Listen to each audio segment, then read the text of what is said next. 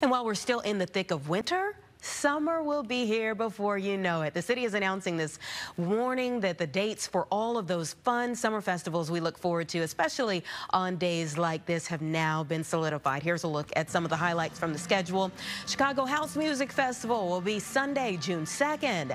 The Chicago Blues Festival will be June 6th through the 9th. The Chicago Air and Water Show returns Saturday and Sunday, August 10th and 11th. And the Taste of Chicago in Grant Park will be September 6th through through the 8th.